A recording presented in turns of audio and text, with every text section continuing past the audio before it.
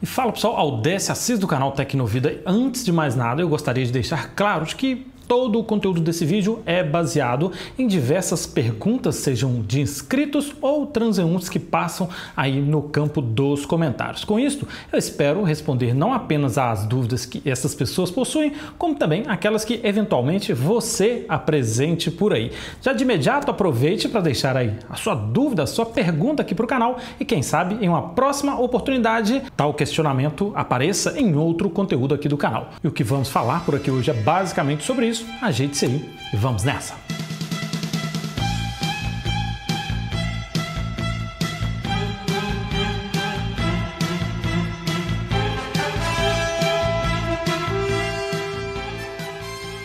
Ok, pessoal, e sejam todos muito bem-vindos mais uma vez ao Tecnovida. Caso você seja novo por aqui, gostaria de lembrar que este é um canal completamente independente. Assim, contamos sempre com o apoio de cada um de vocês, seja seguindo a nossa página do Instagram, nosso grupo do Telegram ou mesmo participando das nossas tradicionais rifas que sempre aparecem seja no campo dos comentários ou na descrição deste vídeo. Dito isso, já começo gastando munições, hein? E disparado, a pergunta que mais aparece aí no campo dos comentários é é com relação a JBL Boombox 4. Expectativas, como será esse gadget e, claro, quando afinal ele será lançado. Bom, aqui no canal já existe um vídeo onde eu comentei sobre as expectativas, principalmente de lançamento, indagações, né? E disse inclusive que havia sim uma pequena expectativa de que ele pudesse vir a ser lançado na IFA que aconteceu em setembro. E vejam bem. Errou! Infelizmente, pela primeira vez, assistimos a JBL não participar de tal evento. Não foi montado sequer uma pequena estande de fones de ouvidos, pelo menos até onde eu saiba. Dito isso, as projeções agora ficam uh, em prol da CES 2025, que vai acontecer lá em janeiro do próximo ano, ou através de um lançamento aleatório, coisa que eu particularmente duvido bastante, mas não é impossível quando o assunto é JBL. Me diz aí no campo dos comentários, será que a JBL está preparando algo tão brutal, revolucionário, que demanda tanto tempo? Ou será que a empresa americana não vive, no final das contas, um bom momento. E já que estou aqui falando de JBL, aproveito para comentar um pouquinho sobre outro questionamento que aparece bastante aqui no canal, que é a pergunta ou até mesmo a afirmação de que a JBL ou mesmo a Harman não seria mais uma empresa americana. Isso aparece quase sempre que eu utilizo a nacionalidade desta empresa aqui no canal. E veja bem, galera, nós precisamos nos apegar a parâmetros, principalmente pesquisa. Não justifica ficarmos aqui simplesmente em prol de achismo. Assim, a internet está aí a nosso favor. Dê por aí um Google e você vai perceber que a JBL segue sendo americana, afinal de contas, a sua sede permanece nos Estados Unidos bem tal como acontece com a Harman. Obviamente que é de conhecimento da grande maioria que essas empresas foram sim vendidas para os coreanos da Samsung, o que não transforma, pelo menos até a data atual, nenhuma das duas empresas em um produto coreano. E o que as pessoas precisam entender aqui é que quando uma gigante como a Harman é vendida, não é como se a empresa comprasse ali uma caixa da JBL, colocasse debaixo do braço e levasse para a Coreia. Muito antes, pelo contrário, o que acontece é o investimento de ações, a lucratividade no final do ano, claro, vai muito mais para os coreanos do que para qualquer outra pessoa. E entendam que a Samsung, no final das contas, não tem interesse em modificar drasticamente empresas como a AKG, a JBL, e sim que elas permaneçam o mais original possível, rendendo os bilhões a que já estão acostumadas a fazer ano após ano valendo destacar que nada disso tem a ver com qualidade dos produtos, que inclusive, na grande maioria dos casos, possuem peças e às vezes até mesmo montagem lá na China, um terceiro país que não tem absolutamente nada a ver com a história e nem por isso podemos afirmar que a JBL ou a Harman venha a ser uma empresa chinesa. E uma ideia similar a tudo isso aconteceu também com relação à Aiva. Se a JBL atualmente, mesmo tendo sendo vendida para os coreanos, segue sendo americana, a atual Aiva continua sendo japonesa? Hum, com a Aiva passa-se algo um pouquinho diferente. Afinal de contas, se você pesquisar, você vai notar que entre o ano de 2002 e 2006, a empresa Aiva foi administrada pela Sony, ora no Japão, ora nos Estados Unidos, e o fato é que atualmente, desde 2022, a marca Aiva é administrada pelo grupo MK, inclusive em Manaus, território brasileiro, o que, de novo, não faz da Aiva um produto brasileiro. E tudo isso também não tem a ver com a qualidade dos produtos, longe disso. Afinal de contas, canais como este existem justamente para que possamos aqui testar, analisar e fornecer as nossas ideias sobre um determinado produto ter ou não qualidade e destacar aqui que as peças de fabricação dos produtos Aivas também vêm da China. Óbvio. Tá, e algo que não dá para fugir nesta altura do campeonato é a minha opinião frente às perguntas que vocês deixam aí quando falamos do comparativo Boombox 3 versus Aiva Boombox Plus. Né? Esse duelo ficou muito famoso no decorrer do tempo, não só aqui no canal, como basicamente por toda a internet. Assim, eu diria que as coisas oscilam bastante, tá? Em termos de áudio, já disse e repito, estamos falando aqui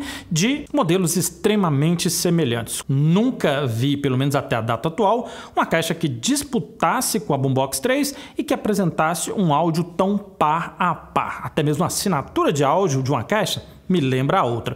Ah, agora, quando olhamos para a bateria, não existe grandes diferenças, nenhuma delas entrega a melhor das experiências neste aspecto, em termos de qualidade de construção, materiais, as coisas oscilam. Boombox 3 não é uma caixa perfeita, seus pés, como já dito em diversos vídeos aqui no canal, se soltam com uma facilidade muito grande, mancada feia da Harman, enquanto a Aiva Boombox Plus apresenta uma prancha no lugar do pé melhor que a caixa da JBL, mas não fica em isento às críticas, afinal, estamos falando de uma caixa que sequer pode molhar com intensidade. Galera, não faça isso. E como o preço da Aiva Boombox Plus atualmente é consideravelmente melhor do que o da Boombox 3, fica de fato aí uma séria pulga atrás do orelho, uma dúvida bem complicada de ser resolvida. Então já me diz aí no campo dos comentários qual é a sua favorita, Aiva Boombox Plus ou Boombox 3.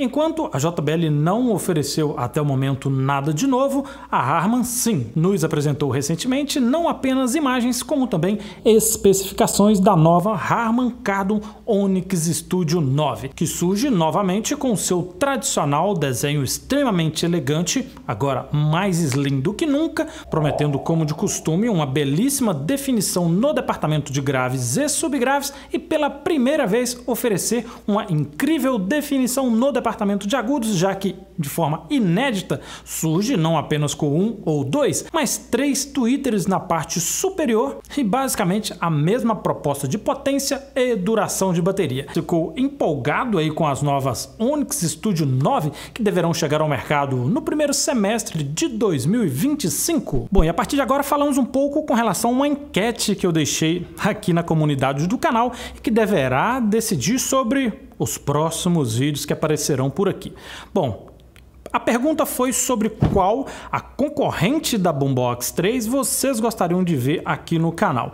Até o momento, mais de 800 votos e temos 15% para a Goldbox Sumei, uma caixa que, sinceramente, me lembra demais a já citada Eva Boombox Plus. Será que não seria a mesma caixa, uma espécie de white label? Hum, sei não. Em seguida, temos aqui a imenso X41 Pro, que pelo menos até a data atual é a segunda melhor ranqueada com 17%.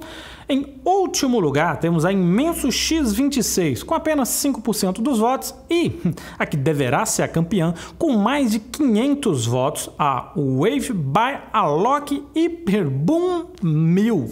Cara, essa caixa de fato está fazendo muito sucesso por onde passa, não poderia ser diferente, né? Um marketing gigantesco e brevemente aqui no canal deveremos estar por detrás dos mistérios que envolvem tal dispositivo. Já me diz aí se você tem alguma dúvida ou alguma sugestão de teste para tal equipamento. Uma menção honrosa aqui para a W King X20, outro equipamento que disputa mercado com a JBL Boombox 3 e que aparece bastante aí no campo dos comentários, boas especificações, imagem de construção, claro, vários detalhes que prometem bastante. Assim já me deixe saber aí. Lhe interessa saber um pouco mais também a respeito deste equipamento? Quem sabe ele não brota por aí brevemente. E por fim, falaremos a respeito da Tribute Stormbox Blast 2. Este sim, o equipamento onde mais podemos basear aqui em fatos, palavras ou anúncios feitos pela própria Tribute, que inclusive já divulgou em seu próprio Instagram oficial que a chegada dela no mercado, inclusive aqui em terras brasileiras,